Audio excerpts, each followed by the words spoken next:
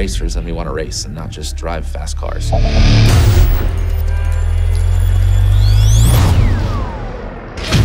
My name is Tommy Milner, and I drive a BMW M3 GTR. You know, once you're in the car and strapped in, you are a part of the race car.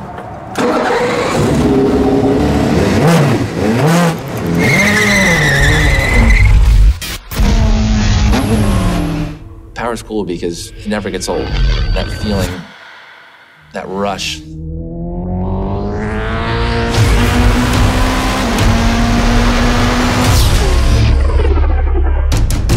I just go by feel. I, not so much about what, what your eyes see, but more about what your body's telling you through the seat.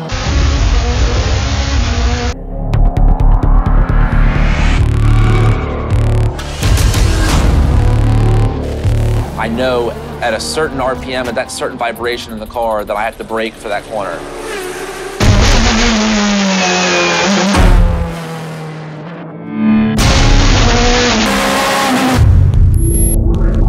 When you're driving a car that's designed to go fast, everything's sealed off.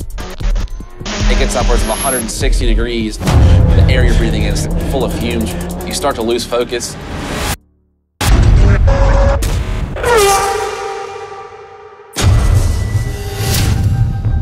after a long endurance race, if you're you know still in the hunt, if you're in contention for a win, that last hour is so nerve-wracking. If you're in the zone, that's when you're at your best.